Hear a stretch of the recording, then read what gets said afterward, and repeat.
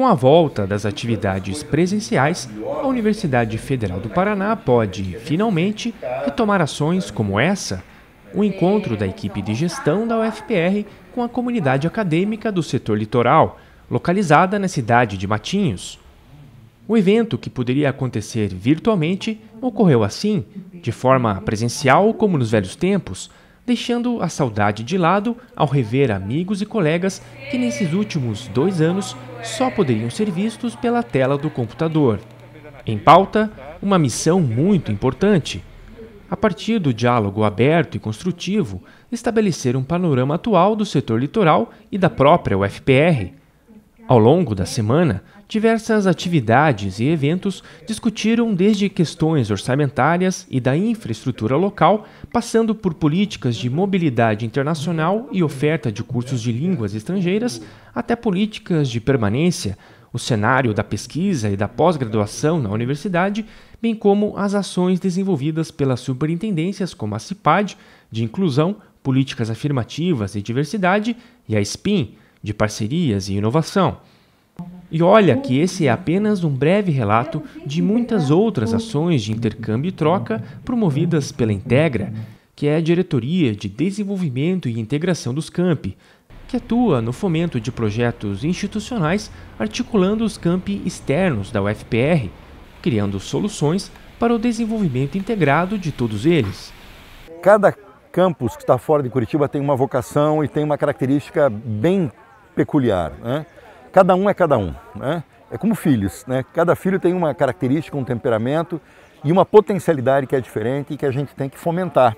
A ideia é justamente de aproximar a administração central da realidade e peculiaridade de cada campus, justamente nesse momento de retomada das nossas atividades presenciais. Então é um momento muito importante de aproximação no campo da comunicação, no diálogo é, franco sobre os problemas, sobre os desafios. Perto da hora do almoço, foi o momento de realizar os testes imunológicos de detecção do coronavírus desenvolvidos pela pesquisa do professor do curso de Ciências Ambientais, Luciano Ergo.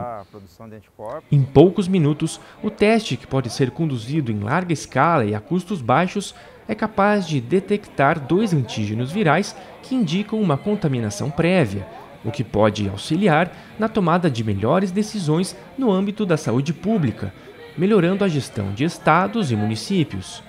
O professor Luciano explica como o diagnóstico demonstrou a eficácia das políticas de vacinação. A gente finalizou 2021 com 80% das pessoas que vinham até fazer a testagem aqui com anticorpo, né, induzido pela vacina.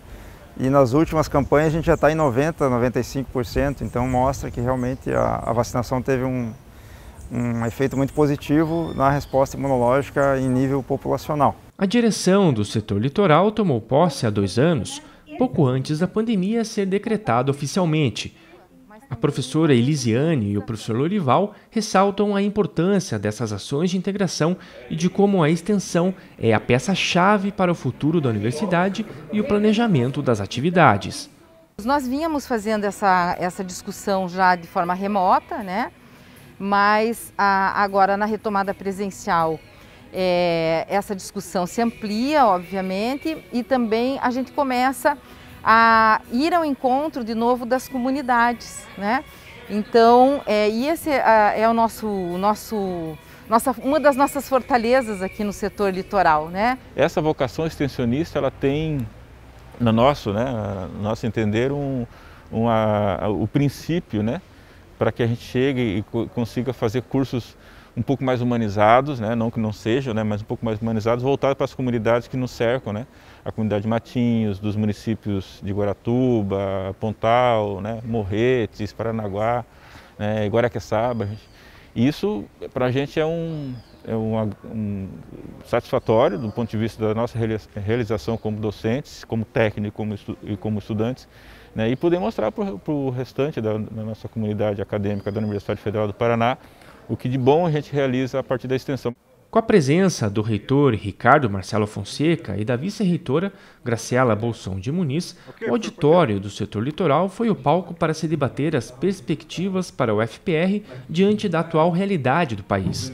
E aqui, todas as dúvidas, preocupações e sugestões estão lastreadas no mesmo objetivo: fazer da UFPR uma universidade cada vez melhor para as pessoas. Foi uma conversa excelente. A gente conseguiu sentir quais que são as angústias e as carências da comunidade. Ao mesmo tempo foi importante é, eles ouvirem também a administração central. Né? Essa, essa distância de Curitiba para cá às vezes também faz com que a, a, a própria informação sobre o estado geral das coisas, do cenário geral, inclusive do cenário orçamentário, às vezes essas informações não chegam aqui. Então foi importante essa troca, né? falar e ser ouvido, que acho que é a rotina da nossa administração, minha da Graciela, aquilo que nós temos que fazer sempre, assim que a gente se mantém perto da comunidade nos campi fora de Curitiba.